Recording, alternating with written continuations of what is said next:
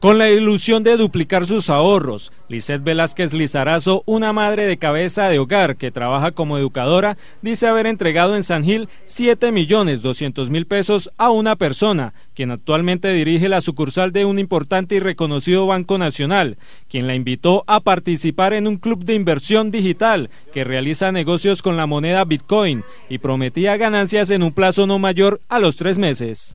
Ah, me contactó para que participara en un negocio al que él llamaba compra y venta de divisas. O sea, él me explicaba que era algo así como compra y venta de dólares. Eh, según lo que él explicaba, daba muy buena rentabilidad y había que invertir lo que valía el Bitcoin en el momento en el que uno invertía. Él me contactó eh, en varias oportunidades eh, finalmente pues yo accedí, de modo que cada cinco días empezábamos a recibir eh, rentabilidad. Entonces a los 45 días recibía o completaba lo que uno invertía y a los 90 días eh, lo duplicaba, pero que la organización cobraba una cuota de administración o manejo. Al momento de ingresar al negocio en Internet, Velázquez Lizarazo contaba con 7 millones 200 mil pesos en efectivo. Sin embargo, en la fecha en la que debía recibir su primer pago, el dinero nunca llegó. Yo estuve el 30 de mayo, a las 6 de la tarde fui a la casa de él. Eh, había una señora con él, yo fui con una sobrina y él, eh, apenas yo llegué, me dijo que si llevaba el dinero. Entonces, eh, para ese día yo tenía que llevarle 7 millones 200. Yo le llevé, le dije, claro, sí señora, acá los tengo. Entonces me dijo, entréguemelos.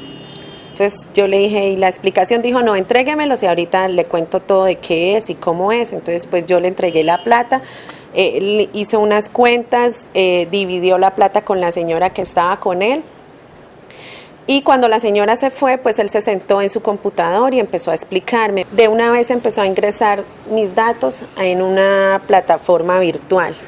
La plataforma se llamaba GladiaCoin. Entonces ahí él empezó a ingresar mis datos. Después de más de un mes, no ha recibido un solo peso por la supuesta inversión, ni tampoco ha obtenido su dinero de vuelta. Al verse presuntamente engañada por el señor que la invitó, denunció ante la fiscalía y en la audiencia de conciliación. El hombre manifestó que lo único que hizo fue brindarle una asesoría. A los cinco días yo, pues, estaba revisando, no me llegó nada. Yo le dije, doctor, ¿qué pasó con mi dinero? me dijo, Lice, hay un problema, la plataforma colapsó, empezó a reenviarme mensajes de GladiaCoin, donde decía que se iba a posponer el pago, que se posponía el pago.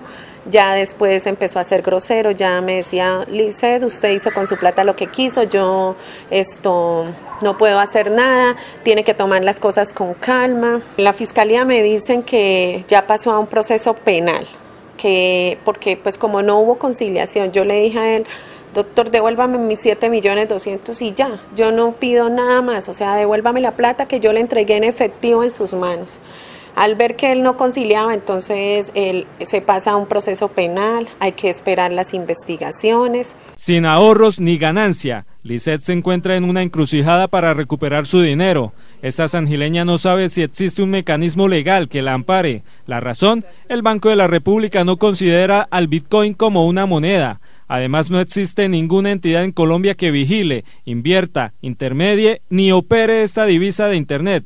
Esta mujer más que denunciar lo que quiere es advertir a los angileños de este hecho para que no caigan en la misma situación y pierdan su dinero creyendo en negocios fáciles, propuestos por personas que ocupan altos cargos, son reconocidos y gozan de prestigio a nivel local por su posición.